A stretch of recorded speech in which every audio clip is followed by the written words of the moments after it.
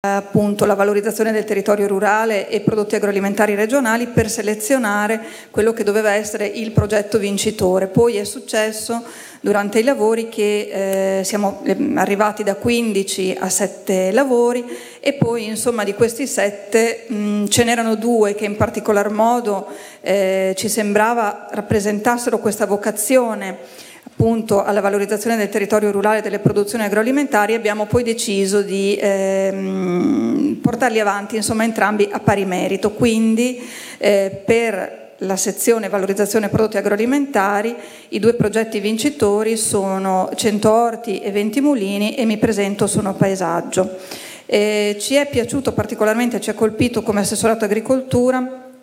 il coinvolgimento in entrambi eh, della cittadinanza su temi che non sono insomma, propriamente di eh, interesse eh, così subito, insomma, l'agricoltura, i prodotti agricoli. Eh, però tutti e due questi progetti hanno appunto l'intenzione con varie iniziative, eh, mostre, eventi di coinvolgere e anche durante insomma, il percorso coinvolgere la cittadinanza, ma anche per esempio come esperti gli agricoltori, gli allevatori, ehm, chi eh, ha eh, un orto eh, nelle vicinanze che produce prodotti che per esempio nel caso del progetto 100 orti e 20 mulini era o è tuttora irrigato dalle acque ehm, del, del canale, di questo canale dei mulini che aveva certe caratteristiche iniziali e che poi nel tempo è molto cambiato. Eh, si indaga, per esempio ci è piaciuto molto l'idea di indagare eh, questi, la storia di questi mulini che c'erano, non ci sono più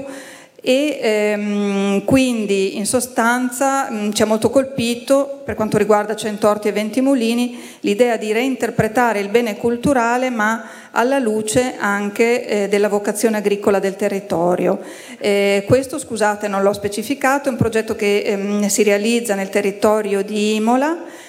è presentato dall'archivio del Consorzio di miglioramento fondiario degli utenti di Imola e Massa Lombarda e dall'Istituto Comprensivo 7 di Imola, oltre ad altri partner, ehm, come insomma, in molti progetti sono presenti numerosi altri partner. Per quanto riguarda Mi presento sono paesaggio, siamo invece nel territorio di Pennabilli, quindi in provincia di Rimini, il progetto è presentato dal Museo Naturalistico CEAS dell'Ente Parco Sasso Simone Simoncello e dall'Istituto Comprensivo Olivieri di Pennabilli. Eh, sono sette classi di una scuola media inferiore e oltre anche qui a numerosi partner eh, locali. E qua eh, ci è piaciuto molto l'idea del progetto di valorizzare il patrimonio rurale del parco con tre chiavi, abitare, mangiare e lavorare, dove nel tema del mangiare soprattutto la produzione agricola è molto importante. E mm, in particolare qui ci è sembrato interessante anche la presenza, insomma, il coinvolgimento diretto, attivo del CEAS,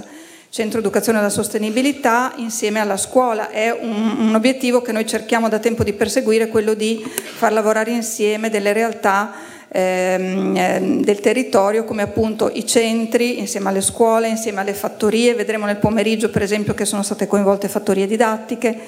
ehm, in modo che ci sia veramente un apporto di tutti i soggetti che possono dare un grande contributo alla valorizzazione del territorio e per quanto ci riguarda del, del territorio rurale e delle produzioni agroalimentari.